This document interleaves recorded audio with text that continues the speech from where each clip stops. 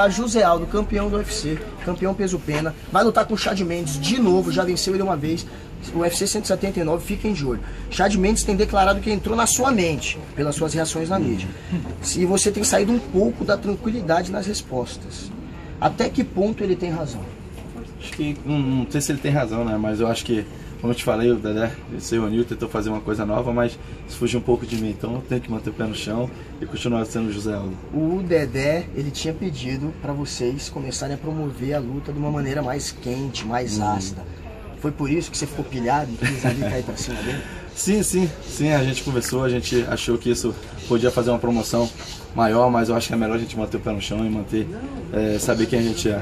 Fazer só mais duas aqui, porque o José tem que partir, galera. Rivalidade. Nova União e Time Alfa Meio é maior do que o MMA atual? A rivalidade é a maior do MMA atual? Time Meio Sim. versus Nova União? Sim, sim, eu acho que eu cresci vendo várias é, rivalidades entre PTT e chutebox, então já teve várias rivalidades. Então hoje em dia a gente, pelo fato de estar disputando vários cinturões, é uma rivalidade muito grande. E até quando isso é saudável pro esporte e até quando isso também pode se tornar, sei lá, desrespeitoso entre Acho que vocês? enquanto tiver um respeito, acho que é saudável. A partir do momento que não passa do respeito, acho que passa a, a ser um pouco mais além. Você vê alguma evolução no Chad Mendes, daquele Chad que você derrotou em 2012 para esse de hoje?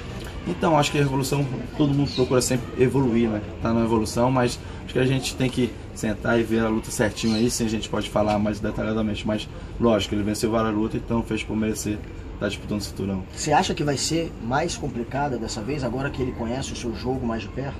Acho que não, isso depende muito do nosso treino, né? Se a gente já tá bem treinadinho, tudo certinho, não tem por que a gente chegar lá e ter erro algum.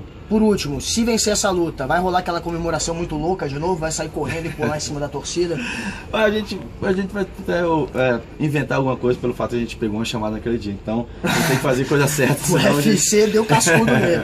O Deu UFC deu remoca, carão uma- nele. Deu uma remoca, deu uma remoca. É isso aí, galera. José Aldo, vamos ver ele vencer e vamos ver ele pirar de novo aí com a torcida. Falta só um mês pra essa luta. Manda um recado aí agora pra torcida e pro Chad Mendes. Fique ligado, dia 25 de outubro, na torcida todo mundo, convoco geral, pra estar presente lá com a gente, torcendo. Muito obrigado pela torcida de todos. Valeu. Grande Aldo. Obrigado.